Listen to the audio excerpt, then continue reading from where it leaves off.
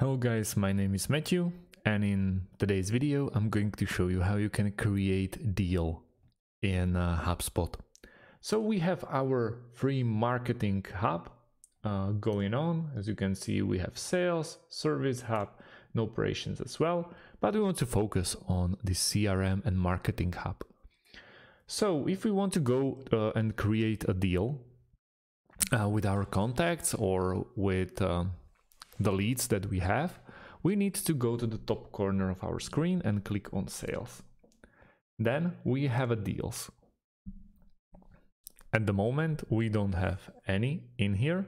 So we have to start by basically addressing or creating a new one. We create, uh, we create a deal. Deal name. Let's go with uh, art opera opportunity. It's a sales pipeline. Appointment, uh, let's go with qualified to buy. Amount one.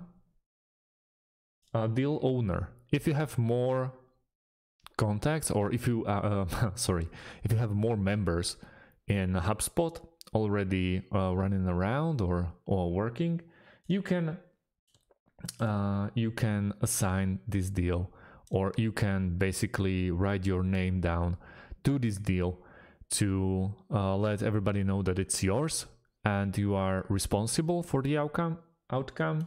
Deal type let's go with new business. Priority let's go with high.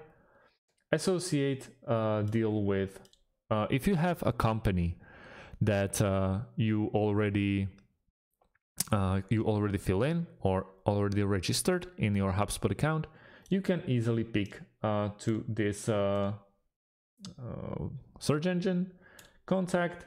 Also, if you have the contact, we can go with Alex Blue, that the contact that we already created, and then add a timeline activity from Alex Blue to this deal, past 30 days, and also we can add a line item and create.